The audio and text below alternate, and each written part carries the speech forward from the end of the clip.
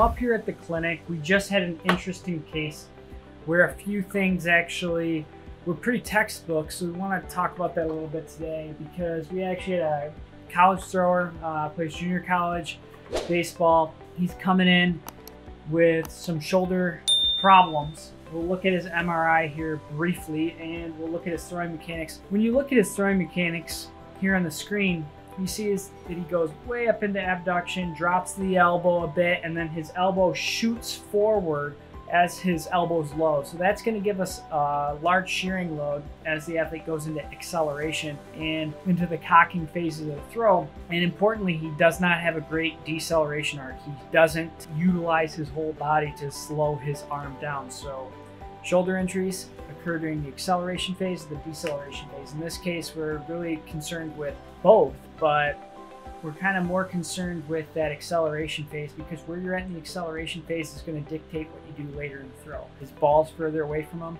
so that's going to increase his moment of inertia and increase the uh, amount of external load that's placed on the glenohumeral joint. When you think about a low elbow, we're thinking about internal impingement. Internal impingement being impingement of the posterior components of the shoulder from the posterior superior aspect of the greater tuberosity of the humerus and the posterior superior or posterior uh, aspect of the glenoid. And oftentimes with internal impingement, we get pinching of the underside of the infraspinatus tendon and sometimes the underside of the posterior aspect of the supraspinatus tendon.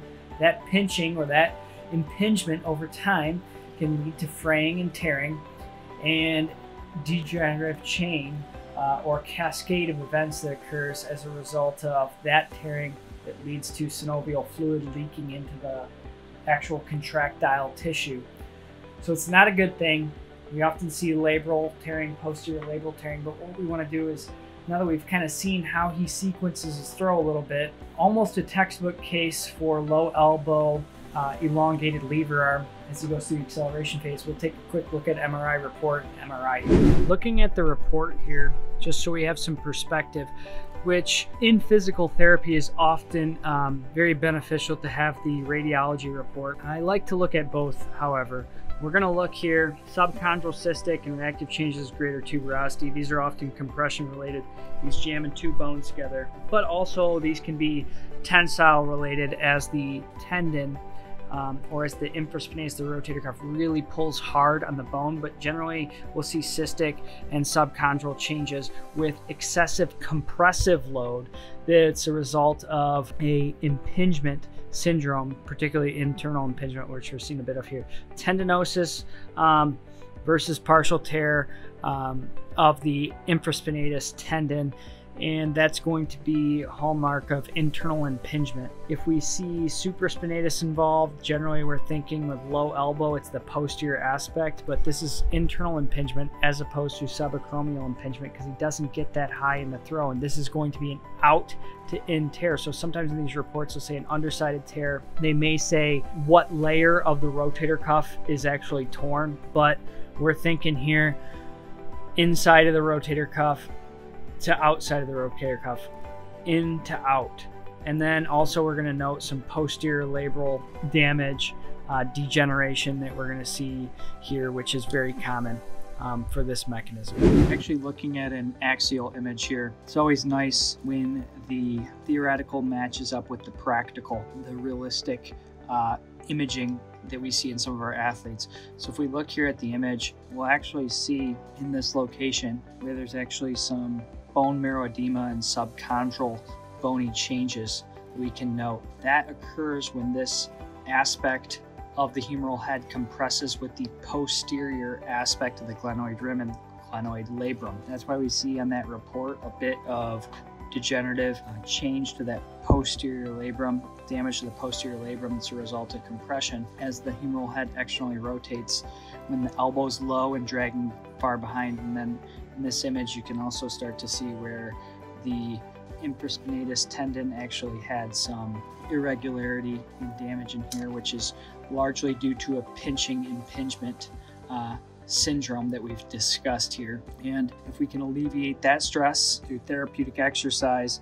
and in the throwing motion, we can be very successful in the rehabilitation of this athlete. We're on a T2 fat suppressed image here. We should see some nice homogeneous um, tendinous structure coming into the attachment point um, on the greater tuberosity, that, that footprint point um, for the rotator cuff. And what we'll actually see here is a few things. Number one, we'll see very easy, we'll actually see this uh, hyper intensity here, and they noted there that that's subchondral cystic change, and we're seeing it right around that that attach, attachment point there of the rotator cuff. Change to the rotator cuff. We also see heterogeneous um, tissue here coming into that footprint coming in through the the tendinous structure here of the rotator cuff. And you know that's not completely uncommon. Undersided tear right? So looking at seeing the underside we're seeing that as we actually go through here we can see not only heterogeneity but some hyper intensity some some white in there as it comes into the attachment point. We don't see a nice solid gray. We see some black speckled with gray, speckled with white, which is not what we like to see in that tendon. This isn't a particularly um, bad tendon, but it's definitely taken some wear and tear, and that's why this bone here, you can see that there is uh, some cystic and inflammatory change. There's some water um, and fluid it's actually uh, in that subchondral subchondral bone. So we see that heterogeneity as it comes down into the anchor point. And uh, the front side looks good, like the subscapularis. So something we commonly see as you move posteriorly, which is moving into that infraspinatus tendon, you will see that there is actually some some damage when the athlete has a low elbow in the throw. So just a really nice clinical case and easy to see if you manipulate a cadaveric shoulder that as you rotate the shoulder externally with the arm horizontally abducted, externally uh, rotated to a degree, you will get a peeling or shearing effect on the underside of the rotator cuff where it's actually